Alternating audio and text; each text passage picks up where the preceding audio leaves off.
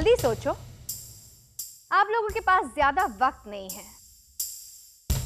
अब लक्ष्मी और उसके बच्चे की भी तो जान बचानी है ना? मैं तैयार हूँ।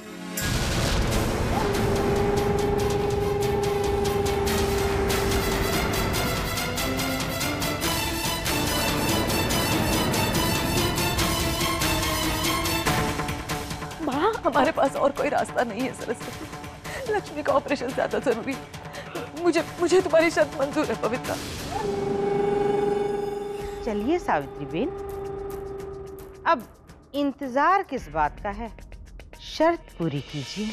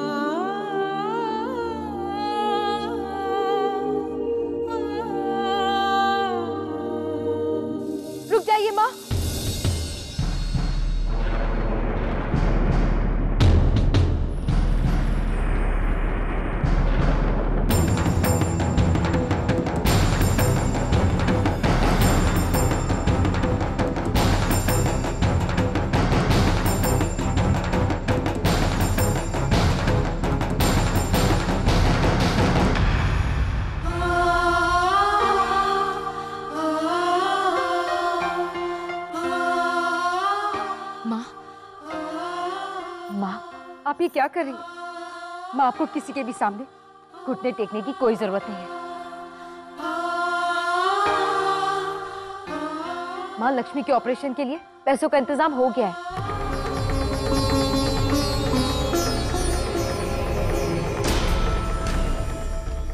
कहाँ से आए इतने पैसे? दीदी वो सब मैं बाद में बताती हूँ। माँ ऑपरेशन के पैसे हॉस्पिटल में जमा करवा दिए और डॉक्टर्स ने ऑपरेशन भी शुरू कर दिया। हमें फ़ौरन हॉस्पिटल चलना चाहिए। चलिए माँ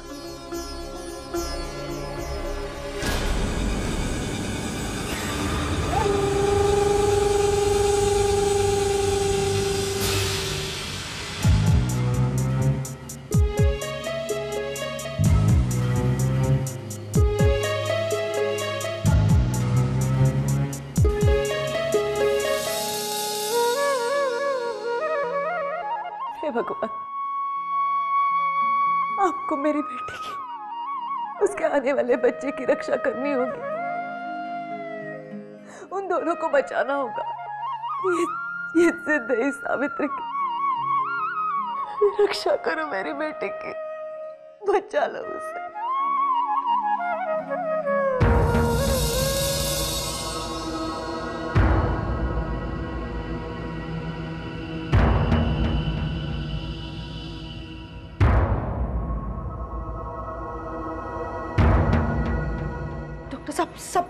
है ना? बिल्कुल ठीक है। आप सबको मुबारक हो। बेटी हुई है।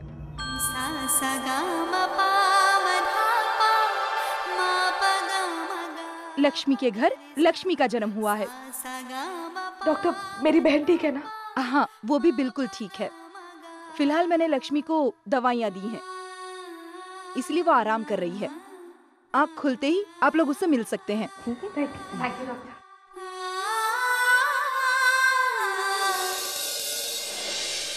मेरी समझ में तो ये नहीं आ रहा मेरी जान कि बीस हज़ार जैसी मोटी रकम इन लोगों के पास आई कहाँ से?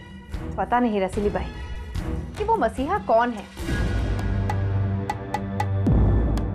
मेरी जान कहीं युवराज तो इन लोगों की मदद नहीं कर रहा? नहीं नहीं रसीली भाई युवराज तो मेरी मुट्ठी में है और उसकी इतनी हिम्मत भी नहीं है कि वो मुझसे बिना पूछे इतना बड़ा कदम उठाए। तो फिर कौन हो सकता है? कोई ना कोई तो ज़रूर है। बस अब हमें जल्द से जल्द ये पता लगाना होगा कि आखिर ये कोई है कौन। चलो, एक संकट तो टला।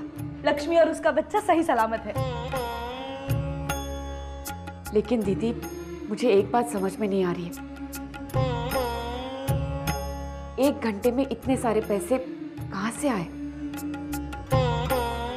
यही सवाल तो मैं तुमसे पूछने वाली थी। लेकिन हमें इसके बारे में कुछ नहीं मालूम। तो फिर कहाँ से आए इतने सारे पैसे? ये पैसे यहाँ से आए हैं ना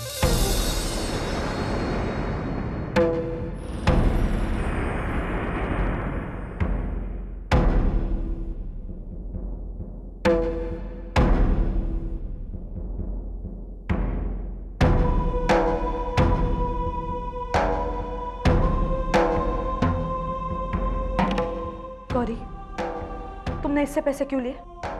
तुम जानती हो ना, ये हमें छोड़ के चली गई थी। जरा सी तकलीफ़ क्या हुई, इसने तो मुँह ही फेर लिया। दीदी, आप लोग इसे गलत समझ रहे हैं। वो घर छोड़कर ज़रूर गई थी, और सिर्फ़ इसीलिए ताकि वो हमारे और हमारे परिवार की मदद कर सके, उस पवित्रा को मुँह तोड़ जवाब दे सके। दीदी चांदी ने क्या कुछ नहीं किया हमारी मदद करने के लिए? तो क्या मैं भूमि की जगह डांस कॉम्पिटिशन में हिस्सा ले सकती हूँ?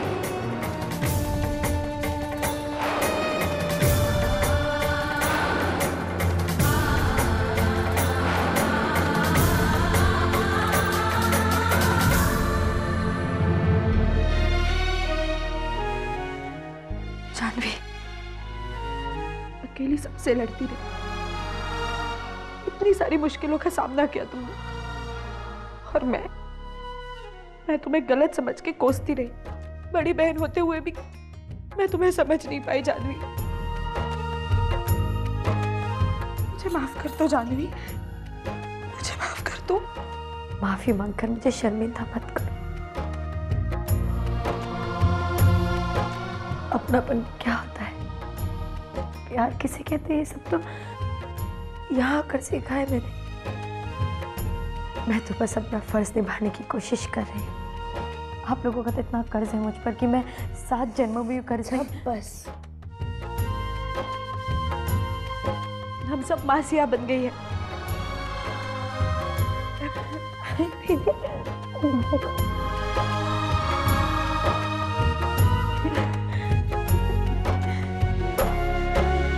मुझे गर्व है मेरी बेटियों पर। आज तुमने ये साबित कर दिखाया कि मुश्किल वक्त में कैसे एक दूसरे के साथ रहना है।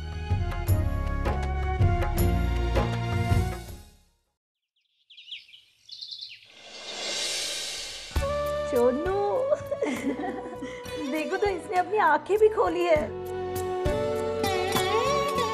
ए, तुम्हें जब सुसु करना हो ना तो मुझे बता देना, मैं तुम्हें इस नियति के पास दे दूँगी। आप दीजिए ना। संभल कर हाँ। नियति।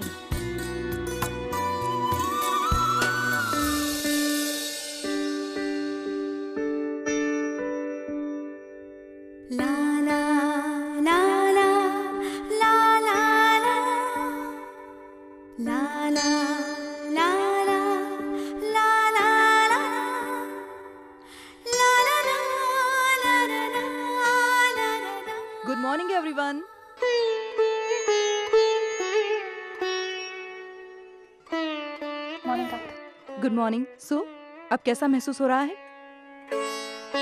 सावित्री जी आप हॉस्पिटल की फॉर्मेलिटीज पूरी कर दीजिए और लक्ष्मी को आप आज ही घर ले जा सकते हैं। जी अच्छा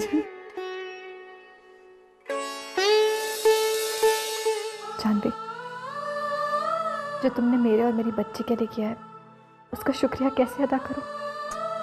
शुक्रिया मत कहो दीदी बस अपना ख्याल रखो। और अब तुम हम सबके साथ गरोड़िया निवास चलोगी। हमसे दूर रहने की कोई ज़रूरत नहीं है है ना? मैं चलना तो चाहती हूँ, पर अभी नहीं। मैं भी वापस नहीं आ सकती, और राधा जी का एक कर्ज है मुझ पर। मुश्किल वक्त में उन्होंने मेरी बहुत मदद की थी, आज उन्हें मेरी मदद की ज़रूरत है। जब तक मैं उनको तकलीफ़ से दूर नहीं कर देती, मैं मैं वापस नहीं आ सकती। आज तुम्हारे बापूजी होते तो वो बहुत खुश होते। भगवान तुम्हें हर मकसद में कामयाबी दे। दीदी वो मैं अपने परिवार के लिए एक और चीज़ करना चाहती थी। बोलो।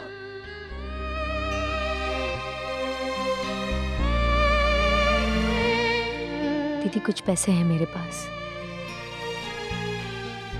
क्षिति जीजू की जमानत के लिए। नहीं जानवी मैं।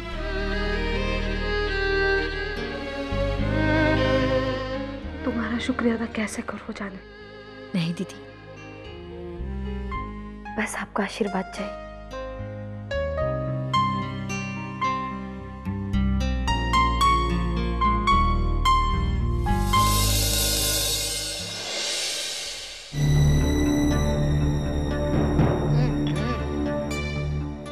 जान चाय में वो मज़ा ही नहीं। मज़ा होगा भी कैसे रसीली भाई नौकरों को तो हमने छुट्टी दे रखी है। और घर के ये लोग कल से गायब हैं। परसों बाद चाय बनानी पड़ी। ऐसा लग रहा है इसे हाथों में छाले ही पड़ जाएँगे।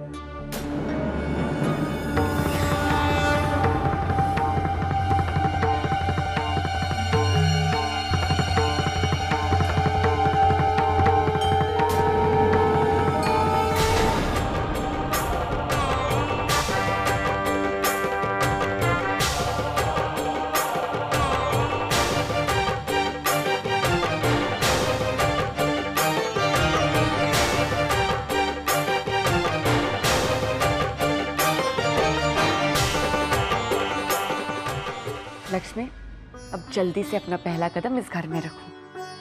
अरे रुको रुको। बच्ची का पहला कदम है। ऐसे कैसे रख सकते हाँ? हाँ तुम सब यही रुको। अरे हवे शू थो अरे बुआ हमारी लाडली रानी का पहला कदम है ना इस घर में? तो आरती होगी पूजा होगी है ना? हेलो चलो।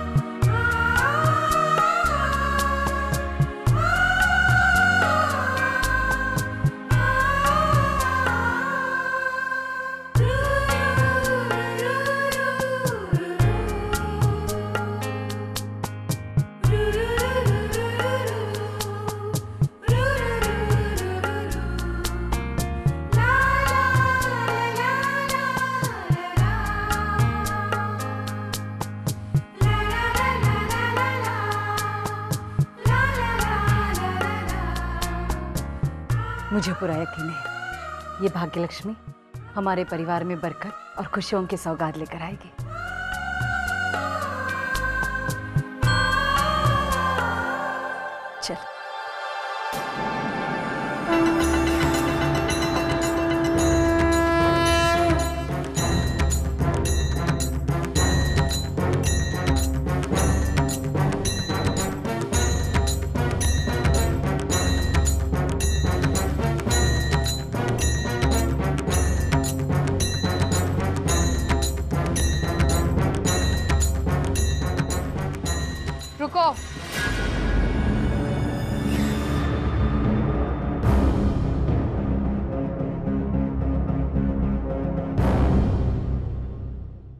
ये सब? ये मेरा घर है और मेरी इजाज़त के बगैर तुम लोगों ने ये सब करने के बारे में सोचा भी कैसे? मेरी जान ये तो हद हो गई बेशर्मी और मनमानी की। मनमानी पवित्रा के सामने नहीं चलती। मेरे घर में किससे पूछकर ये सारा इंतज़ाम किया? और ये क्या तमाशा था?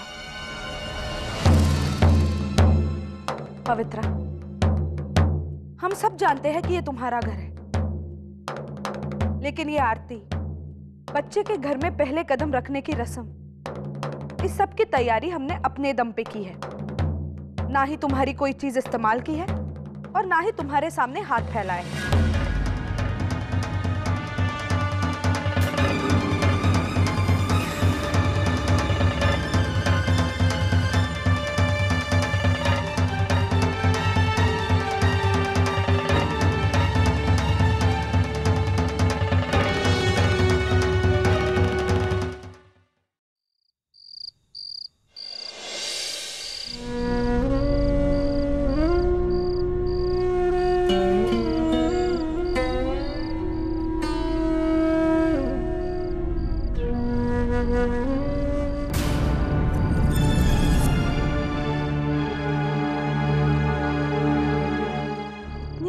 कौन हो सकता है?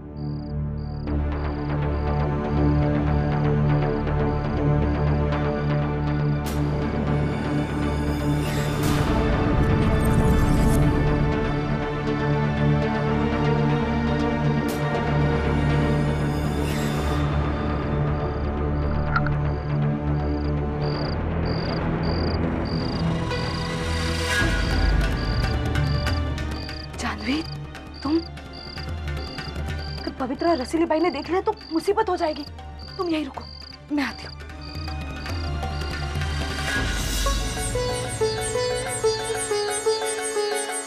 माँ माँ देखो तो कौन आया है। जानवी गौरी दीदी। मेरी बहन कैसी है तू? और और यहाँ कैसे आना हुआ? हाँ और वो भी इतनी रात को? सब ठीक तो है ना जानवी हाँ बड़ी माँ सब ठीक है। वो मैं कल राजपीपला से कुछ दिनों के लिए बाहर जा रही हूँ। इसलिए सोचा जाने से पहले एक बार अपने परिवार से मिल लो। राजपीपला से बाहर? कहाँ? वो दीदी मैं नंदगांव जा रही हूँ। लेकिन तुम रहोगी कहाँ? वहाँ किसी को जानती भी नहीं तुम। माँ वो मैंने आपको राधा जी के बारे में बताया था ना? तो बस उन्हीं के साथ जा रही हूँ। जाना ज़रूरी है क्या? माँ उनका हम पर बहुत एहसान है। और अब उस एहसान को चुकाने का वक्त आ गया है। उनके नूपुर नेत्र केंद्र को मेरी ज़रूरत है। और उन्हें अकेला छोड़कर मैं अपने फ़र्ज़ से पीछे नहीं हटना चाहती। और वैसे भी मेरी बड़ी माँ ने मुझे सिखाया है कि अपने फ़र्ज़ से पीछे नहीं हटना चाहिए। तुम बिल्कुल सही राह पर चल रही हो। और देखना चाहती तुम्हारे इस फ़र्ज़ में भगवान तुम्हारा साथ ज़रूर देगा। जानवी जाने से पहले अपनी माँ से नहीं मिलना चाहोगी? मेनका बहन बहुत खुश होगी तुमसे मिलकर। नहीं, बड़ी माँ। माँ मुझे कभी नहीं समझ पाई। माँ अगर मुझे समझती तो वो यहाँ आप लोगों के साथ रह रही होती। और वैसे भी मैं आप सबको जय श्री कृष्णा कहने आई थी। अच्छा माँ।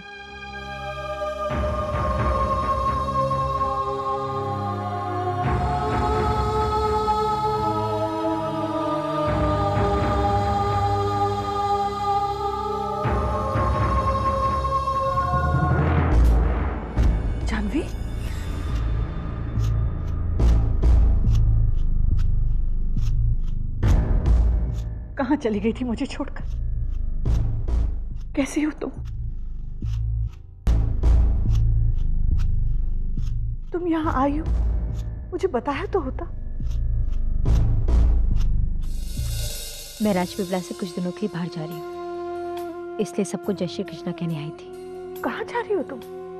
ऐसी क्या ज़रूरत आ पड़ी? किसी का सपना पूरा करना है। किसी का कर्ज चुकाना है। नहीं तुम कहीं नहीं जाओगी। जानवी तुम वापस आ जाओ। तुम्हें दर दर की ठोकरें खाने की कोई ज़रूरत नहीं है। तुम मेरे पास रहो। अपनी माँ के पास मेरे कमरे में सारे ऐशो आराम के साथ।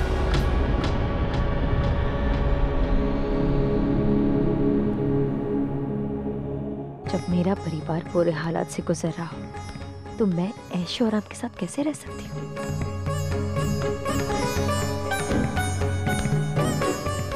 शायद इसलिए हमारी सोच नहीं मिलती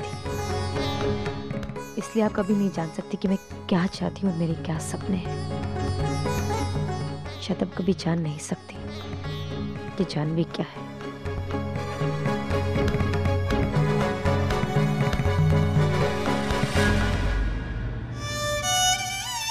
मैंने आपसे कहा था ना माँ कि ये मुझे कभी नहीं समझ पाएँगी। समझा तो सिर्फ़ आपने मुझे है। इसलिए मेरी सिर्फ़ एक ही माँ है।